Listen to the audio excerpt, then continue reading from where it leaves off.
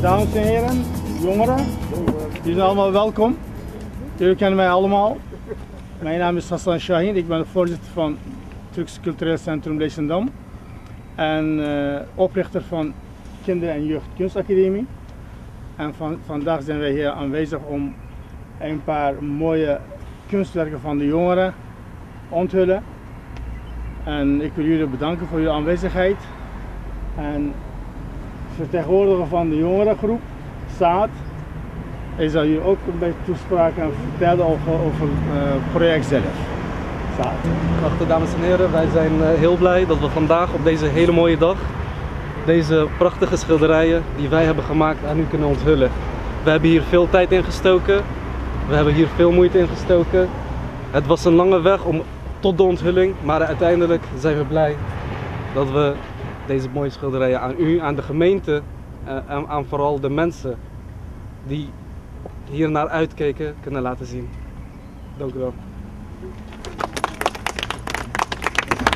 Nou, we zijn blij uh, ook uh, namens, dat ik namens de gemeenteraad mag spreken, dat wij uh, vandaag het mooie project mogen onthullen. Uh, staat alleen al uit het oogpunt van de kostenafwegingen destijds op 1 februari 2011 die jullie maakten en eigenlijk ook geen ruimte gaven om daarvan af te wijken. En dat was ook zeker het argument dat jullie een duurzaam project, uh, met, met een duurzaam project zouden komen voor de vervrijing van de openbare ruimte. En uh, zeker ook als het gaat om het imago voor jongeren, want dat was ook wel zeker het tweeledige in jullie project. En nou goed, zoals jullie natuurlijk weten en de andere genodigden misschien wat minder, is dat er een jongere gemeenteraad is geweest die uiteindelijk jullie project als winnaar heeft uitgekozen. En het hing er nog even om of jullie de enige waren of dat er nog een combinatie van een project als winnend project ja. zou, zou komen. Maar uiteindelijk heeft de jonge gemeenteraad besloten om dit project aan te wijzen als het winnende project.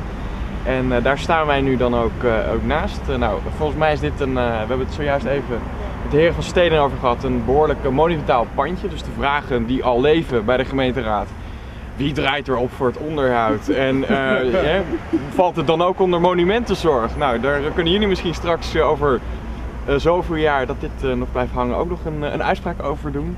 Ik wil graag namens de gemeenteraad ook steden in de regio netbeheerder bedanken voor jullie inspanning. En zeker niet in de laatste plaats de heer Luiten ook wat dat betreft voor de inspanningen om, om dit mogelijk te maken. Want uiteindelijk is dit het achtste uh, project geweest uh, wat in de gemeenteraad van Leidschap Voorbeeld door de jongere gemeenteraad is vastgesteld. En nou, het ene project ging wat met de horten en stoten kwam het tot, tot succes. En uiteindelijk kunnen we toch vaststellen dat dit project zeker ja, een mooie aanloopfase heeft gekend. En ook wel door jullie tussenkomst. Dus daar wil ik jullie hartelijk voor bedanken.